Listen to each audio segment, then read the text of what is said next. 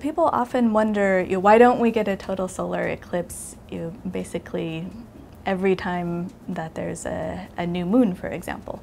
Uh, because that's a situation where the moon is coming partly you know, between the sun and the earth. Uh, the answer is that things rarely line up in such the right way that you actually get the moon passing between the sun and the earth from our point of view. Uh, that happens very, fairly rarely, uh, only occasionally in our orbit does it occur, and it depends uh, specifically where the moon is in relation to us and also at what point in the seasons we are in our travels around the sun. Not everything orbits in exactly the same plane. Um, so you have the, the sun and the, the earth and we have a particular plane to our orbit around the sun. Uh, and then over here at the earth, you've got the moon moving around us, but that's not in exactly the same plane. Um, so it's not like all three of those objects are always on the same, let's say, flat surface.